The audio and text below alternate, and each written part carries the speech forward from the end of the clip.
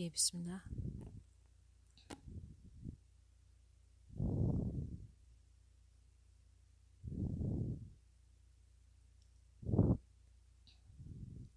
بسم الله الرحمن الرحيم الحمد لله رب العالمين والصلاة والسلام على سيدنا محمد وعلى آله وصحبه أجمعين alaikum wa rahmatullahi wa barakatuh. We will do our class from here, inshallah, today.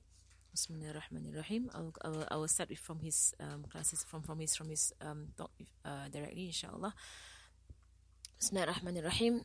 So he says, Hafizahullah ta'ala wa adamallahu nafa'ahu fida, uh, uh, fina fid May Allah preserve him. And he says, Bismillahirrahmanirrahim. All praises to Allah subhanahu wa ta'ala who has narrated to us true stories for us to be beautified with goodness and to be to be, to be beautified and to be uh, clothed with goodness and to affirm and to actualize all this goodness and these lessons in ourselves. And we ask Allah to send the salawat the the um, the mercy and the blessings of Allah and the salam the salutations of Allah onto his slave the prophet sallallahu alaihi wasallam who was honored by only ever uttering what is true and onto his family and companions who were the first and the foremost, right, who rushed to the blessing of guidance, and unto those who followed them in excellence, and unto the ancestors and the brethren of the, of the chosen prophet, meaning all the prophets from amongst his ancestors and his brethren, and unto their families and companions, and those who followed them, and the angels who are close to Allah subhanahu wa ta'ala, and all the righteous slaves of Allah subhanahu wa ta'ala, and unto us, and with them, O Allah, O the most generous of all, Ya Akram al Akramin, Ya Arham al Rahimin. And to proceed, indeed, we are contemplating over the verses in the Quran in Surah A'raf, and we are currently on the story of a people who transgress all boundaries boundaries in the Sharia, in the sacred law, boundaries in nature, and boundaries in the natural disposition that Allah subhanahu wa ta'ala has placed on uh, has placed in all human beings. That, that Allah subhanahu wa ta'ala that from the from the moment he created the first human being he created Nabi Adam alayhi salam he created human beings in pairs male and female. As Allah subhanahu wa ta'ala says in the Quran for indeed Allah has created you from one person from one self and then created from this self his partner and it has spread through the earth uh, and spread from from from the two of them, the man and the woman, right, spread through the earth, many men and many women all over the earth. And Allah subhanahu wa ta'ala has created the creation, uh, has created for the creation a halal or a permissible way for them to satisfy their desires and their lusts, right? From their from their from their eating desires to their sexual desires, Allah subhanahu wa ta'ala has given human beings a way to satisfy these things in in in what is what in what is um, beautiful and what is um, permissible by the laws of Allah subhanahu wa ta'ala. And that Allah subhanahu wa ta'ala has made this way to be between, specifically for, for what is sexual, that Allah subhanahu wa ta'ala has made this way to be between the two different genders, between the male and the female, such that and such that from this from this interaction and from this um, and from this intimacy between the man and the woman in the way of marriage, that that all, a lot of goodness comes forth, and that the human species will continue in and, and, and it will and, and progeny will continue through the day of judgment until when Allah subhanahu wa ta'ala has decreed for the blowing of the horn and the destruction of this entire world as we know it. And so in this we see here is a test on men. Right, in, in his sexual desires, right, in his in, in what Allah has placed inside all human beings, that they have these desires in them, is a test for them. Where will they go with these desires? How will they fulfill their desires? How will they respond to their desires? They have a halal way that Allah has laid out for them, and they have a haram way that, that, that is also shown to them by the enemies, um, by, by the shaitan and by the enemies of Allah subhanahu wa ta'ala. There are two ways, the halal and the haram. Right? And which way will they go? Uh, which way will human beings choose? Will they, will they be patient and choose what is halal? Uh, or will they be impatient and hasty and, and, and fulfill the desires and go with what is haram?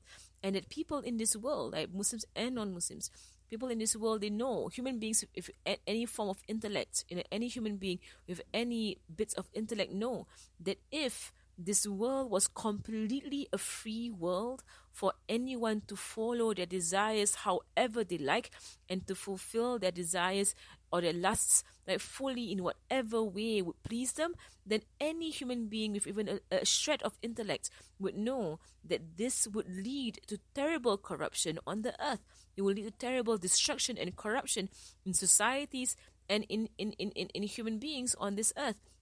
And a human society knows that there always has to be limits and boundaries and rules and regulations placed on human beings, Muslim and non Muslim, there always have to be limits and boundaries, rules and regulations placed on human society for there to be a healthy development of mankind and society and humanity, and for there to be a healthy environment for the upbringing of the young.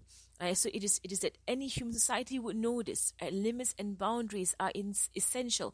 That if human beings are to be allowed to do whatever they want to do, then they will only spell destruction for all for all in society and even in them wanting to fulfill this terrible type of lust that they have now recognized uh, to be and, and they have they've, they've wrongfully and, and, and, and, and deceivingly labeled to be a right of a human being. It is not the right of a human being to go against the laws of nature that Allah subhanahu wa ta'ala has placed right? But but even in this in these people even in, in those who are disbelieving even in them wanting to fulfill this terrible type of lust, they themselves find themselves having to break the rules and regulations uh, in many societies. Right? So even in non-Muslim lands, they have now to fight, and, and, and they're trying to fight and to, and to, to, to break all these rules. And now they can't find a line. Uh, they can't find a line as to where where the boundaries now has to be placed. They can't. There's no more boundaries now, and now with no more boundaries, even more evil is spread to the land uh, that is beyond um, um, uh, homosexuality,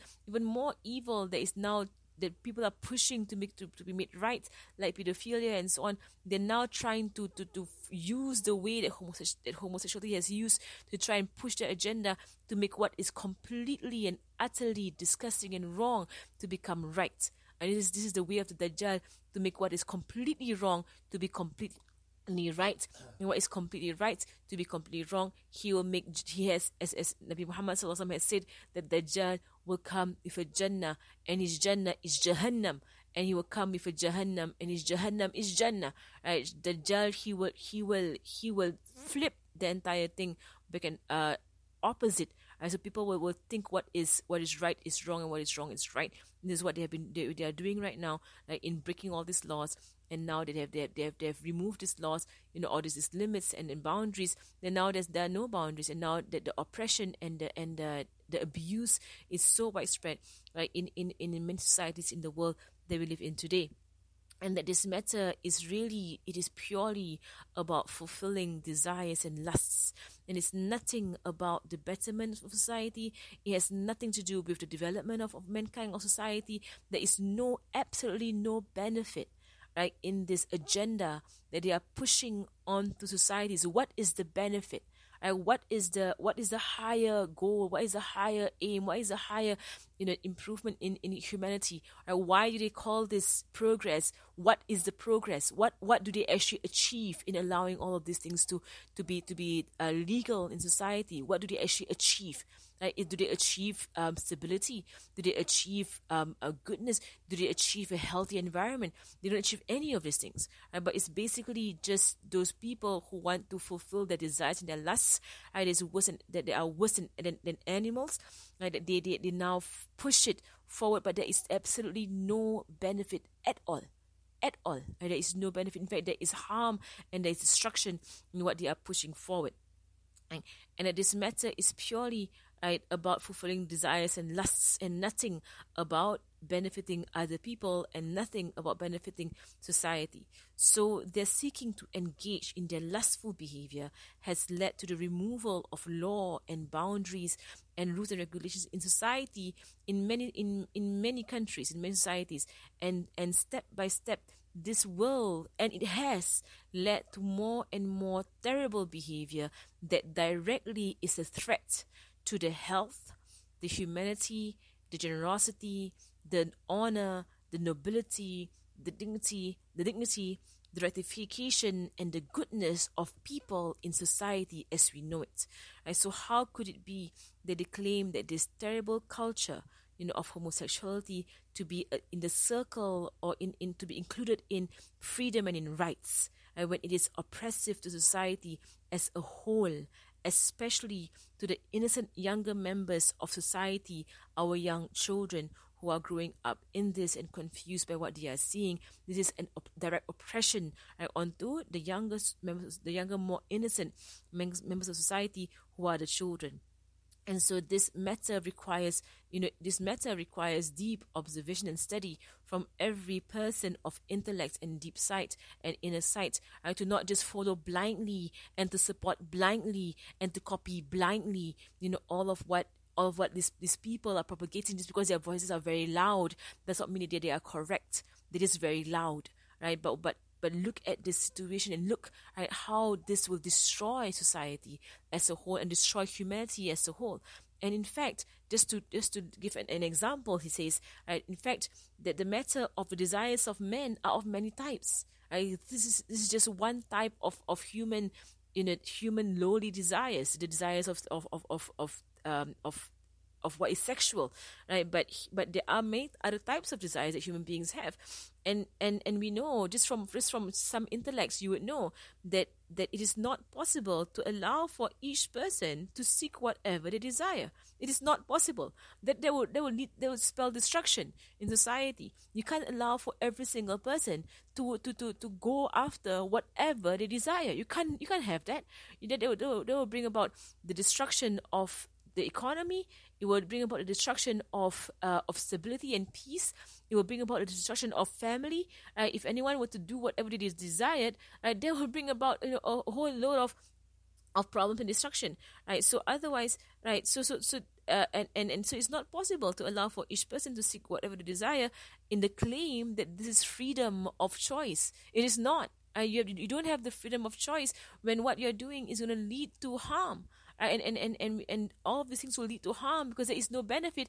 It will lead to harm. And Allah subhanahu wa ta'ala has informed us right, to not go here because Allah knows of the, ter- the terrible harm that will bring to human beings. So otherwise, you know, if, if, if you want to open up the door of saying, okay, whatever you desire, whatever makes you happy, go for it if you want to open up this door, then then then then uh, where's the limit? And then then those who desire, like for example, those who desire loads of wealth, they can just go out and just take whatever wealth they want to take. Right? They want to just you know they, they, they want to take the wealth from other people or attack other people, right? Because they have a they have a desire and it's their right to to to, to enjoy all these things that they want to enjoy. Right? Is it and, and is it a right for them to just go and and and and uh, and abuse you know and harm other people? And these people were just doing just that. The people of Nabi right? They were doing just that. They were just they were just feeding their desires. The human beings going around feeding their their lower desires is all they were doing. Right? They are worse than animals. Right? These desires had overtaken them, and so they were transgressing all boundaries and they were oppressing others, especially uh, in their sexual desires and lusts, and and this steered them far away from what Allah Subhanahu wa Taala has sent as guidance to human beings in in in, in marriage and in family in what is healthy right to be in which there is benefit and goodness and health and progress right? The guidance that, that allah subhanahu wa ta'ala has given to human beings with regards to their sexual desires right? It is uh, it, it, and, and if it is placed in, on the guidance of allah subhanahu wa ta'ala it's placed in this correct position of marriage you know and family then this will bring about benefits and overall an overall all encompassing benefit to society. You'll bring about happiness and love, which is to be expressed in the most beautiful way, right? And to lead to the most beautiful re- results of good progeny who, who, will ha- who, will, who will stand up and who will spread goodness through the land. Right? It is, and, and in this, this, this, this guided way of, of that Allah has given us on how to express our, our sexual needs in this guided way, there is chastity, there, there's, there's modesty and there is chastity and there is good etiquette, there is good manners, there is adab, right? there is purity and there is cleanliness. And this is the Sharia. This is sacred law. Sacred law brings all that is good and all that is beneficial. And this is the ultimate goal of the, of the sacred law. The, the, the, the Sharia preserves society. It preserves all that is good. It preserves all that is beneficial.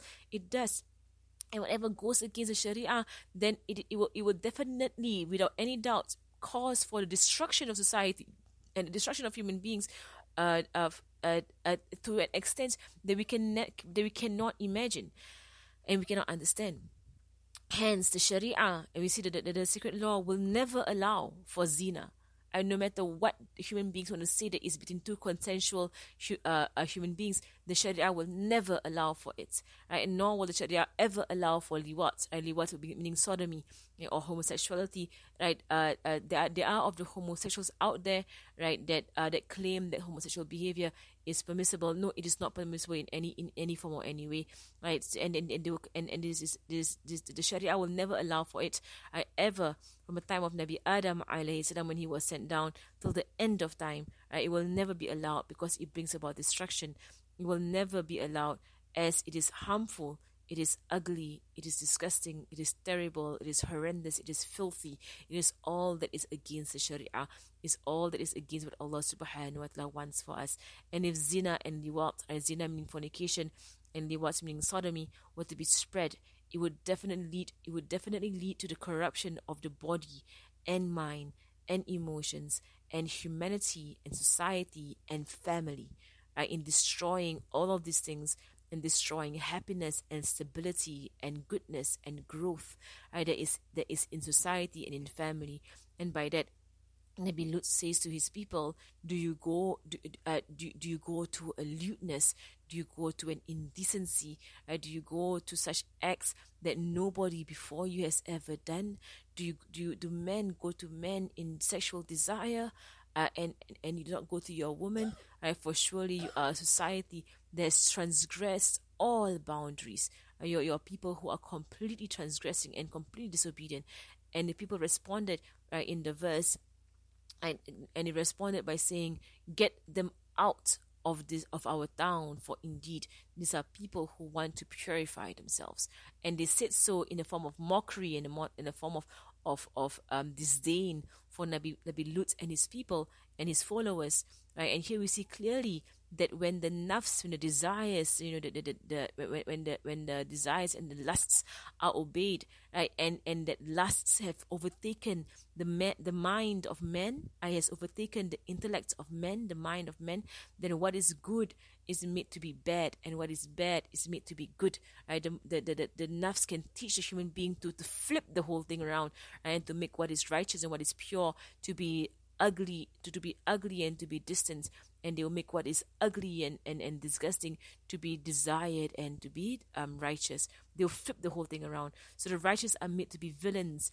and those who are villains are made to be righteous. Everything is made to be opposite once the nafs controls the mind. And this is called, and, and, and so those calling to goodness and to guidance are now here to be distanced and expelled. As we're seeing right now in our world today, it is the same thing is happening. Right, they and so they mocked, right? They mocked Nabi Nabi Nabi Lut and his people by calling them those who want to be pure.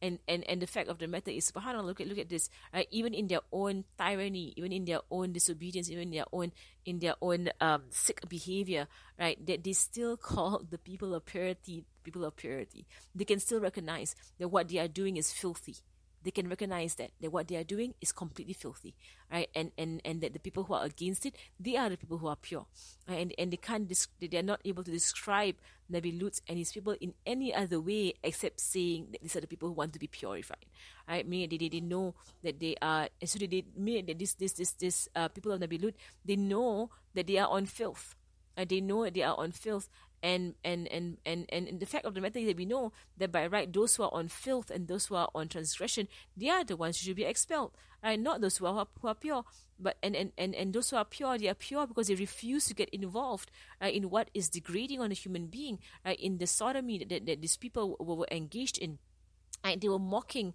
but what, but in their mockery of Nabi Lut and the followers of Nabi Lut, right, they said what was true, what was correct. These are people who want to be who want to be pure, they refuse uh, they refuse to engage in this kind of um, terrible sexual behavior that these people of, of Sodom and Gomorrah uh, were doing.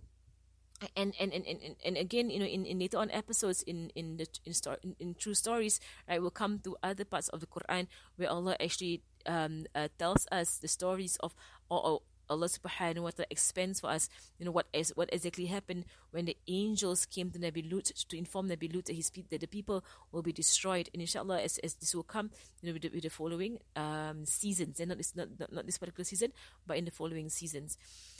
And so Allah says to Nabi Lut and his uh, to Nabi Lut right, that and Allah says that, and, and, so Allah says in the Quran that Allah has saved Lut right, and his people, right, meaning his his his followers. Allah has saved Lut and his ahl, his ahl uh, meaning his family, and the family of Nabi Lut uh, consists of his daughters and the believing people. Very few believing people in the in society had followed Nabi Lut uh, all of them except his wife. As Allah says in the Quran, except his wife. His wife was treacherous and she was and she betrayed Nabi Lut and her betrayal was in disbelief, right? Meaning she had no iman in her and she had taken on the way of disbelief. Like her treachery and her uh, her treachery and her and her betrayal is not in a way is is not from the angle of uh, fidelity because it is not possible for prophets that their wives cheat on them right? So that's that's not that's not possible for prophets. Allah will not allow for that for prophets, right? But her her treachery and her and her betrayal was on the part of iman, right? That she was disbelieving and she would help the disbelievers and the corruptors uh, on their corruption. Right? So she was assisting them. Right? She was assisting them in what she was doing, and she was the one who had put out an indication when the angels came to Nabi Lut and the angels came as in the form of very handsome young men, right? She was the one who had informed the people that Nabi Lut had some guests right, who were very handsome young men. And the people came running to the house of Nabi Lut in, in, in complete, you know, obsession and possession of their nafs, right? In desiring the young men in the house of Nabi Lut um, um, of course, to which Nabi Lut, um, Nabi tried to try to, reason with his people, uh, but they refused and they wanted the, young men. And, the, and, of course, the angels told Nabi Lut that we are angels and they can't get to us, and that these people will be destroyed before the morning and or, or in the morning, and the morning is very near and it was said right that um, there were four towns right the, the, the people of Nabi Lut there were four towns altogether. There were four towns that were there right and they were in the hundreds of thousands altogether right the hundreds of thousands of homosexuals. Every person in these four towns that were destroyed every single one of them was a homosexual. Every single one of them right. Each town had about 100,000 people in each town. So about 400,000 people, right, in this entire, you know, uh, community of human beings, right, 400,000. Only, only like less than a handful uh, believe in Nabi, Nabi Lut and followed Nabi Lut thereafter, right, including his daughters, right, but more than 400,000 people, right, were people of, of homosexual behavior and homosexual, you know, uh, uh, practices that they, that they were up to, men and women both, right? There were the men would go to the men and the woman would go to the woman, right? So they, so, they, so it was it was it was um, homosexual, you know, on both genders, right? So so so if those if people were to say, you know, why did Allah destroy all of them? Right, when it was just the men who were going to the men, and what about the women? How come they were also destroyed? No, the answer is the women were also doing it with other women right? So the women were also seeking sexual sexual pleasures from other women, and the men were seeking sexual pleasures from other men, and it was a completely corrupt, disgusting society that that Nabi Lut was sent to. Um, to call them right to righteousness and to uprightness and to and to what is natural that Allah has placed in them, but they refused the call of Nabi Lut, and eventually the angels came to Nabi Lut and told Nabi Lut to leave the town uh, before the morning, right? Because in the morning the punishment will come. And so Nabi Lut left with his people. They were told not to look back. They were told to walk out of the town, not to look back. And Nabi Lut told his told his uh, his family and the believers to walk out and do not look back.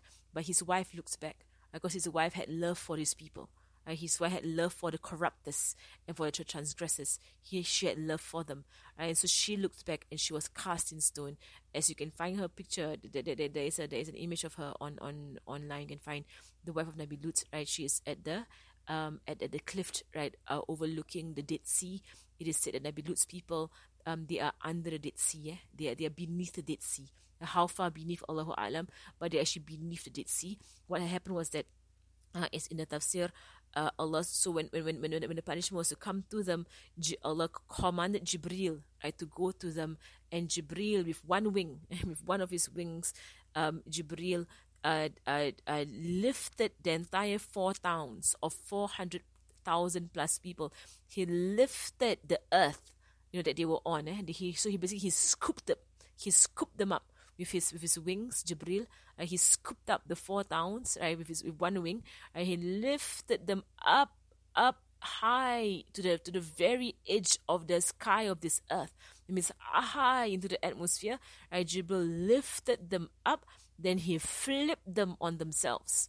Right, he flipped them over, as Allah says, in, as Allah says in Surah Hud, that Allah made the, the, the top of the town bottom and the bottom top because they were flipped they were flipped, right? And so when they flipped, when they, when when Jibril flipped them, uh, salam, when he flipped them, the soil that they were on became stones raining down on them. Can you imagine, eh?